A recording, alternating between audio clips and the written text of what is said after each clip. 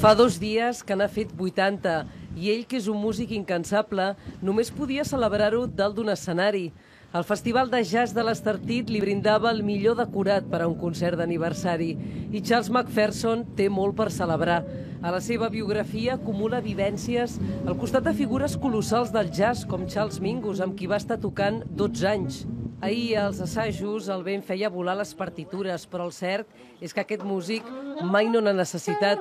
El seu saxo parla el llenguatge del bebop, un estil que va alliberar el jazz i el va abocar de ple a la improvisació.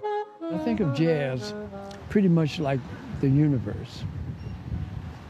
You have chaos, and out of chaos, then you bring a sense of order.